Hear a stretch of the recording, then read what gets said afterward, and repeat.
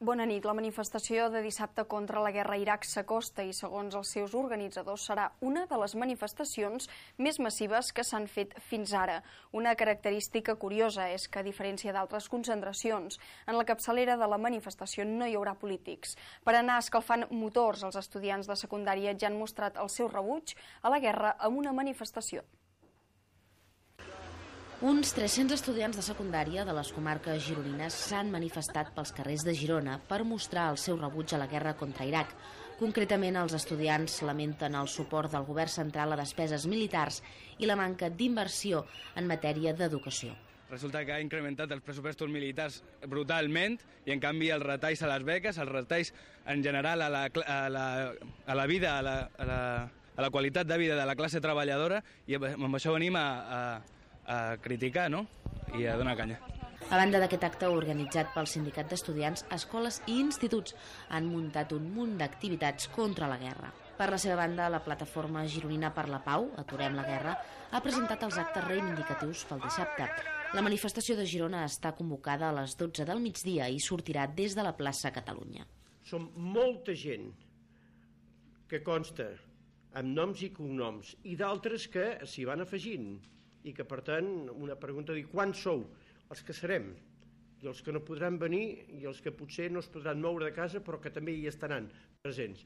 Però com a entitats i és una opinió molt personal en aquí més que anar a fer ara un espot publicitari de qui serem és dir quan més millor fins ara la plataforma ha repartit 12.000 adhesius i 1.000 cartells que han estat molt ben rebuts per la ciutadania. A la manifestació de dissabte s'hi han adherit més de 50 entitats i tots els grups municipals excepte el del Partit Popular. És l'únic eh, que no ens ha avisat de cap manera de que vulgui sumar-se a aquest crit, sembla bastant unitari, eh, en contra la guerra.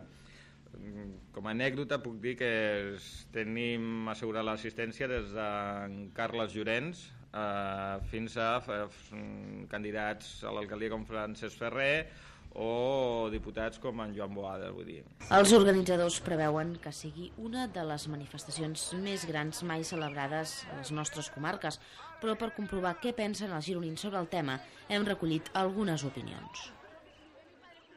Estem no a favor de la campanya, estem en contra de la guerra. Eh? D'allà on te sigui, d'allà on te vingui. Eh? Estem en contra de la guerra, però esclar, nosaltres el dissabte és el dia que treballem fora i tanquem a les 3. I ara això està ple de gent i no pots tancar. Però bueno, a favor sempre. Eh? Perquè tinc moltes coses a fer i no puc, no puc anar-hi. Tinc una nena petita i no, no puc deixar-la amb ningú i no puc anar-hi. Si pogués hi aniria, però... Ai, a la meva data manifestació amb el mal que me fan les cames. Que jo dic que sí, que estic molt a favor de la campanya contra la guerra. Soc antiguerra totalment. Tancar la parada demà? Eh, Tancar-la tinc una dependenta, però jo m'aniré a fer, a portar el meu distintiu i a dir no, i a cridar-ho ben fort. Dissabte jo ja sóc gran per anar a córrer. La guerra es muy mala. Mejor tratar de que no haya guerra jo, la veritat, que no estic a favor de les guerres. Tampoc m'agradaria que n'hi hagués una guerra, no? Però qui mana, mana, no? Jo, si pogués, jo impediria que, que hi hagués una guerra, no? Però com està a les meves mans, però bé, tenim que col·laborar una mica, no? Tot. En quant a la campanya, jo trobo bé que no que la gent estigui en contra de la guerra. És a dir, el que no sé, el que, el que pretenen és els Estats Units amb aquesta guerra a la qual sembla que l'única cosa que busquen són interessos propis. No crec que nosaltres hagin d'anar a favor d'aquesta gent. I continuem parlant de temes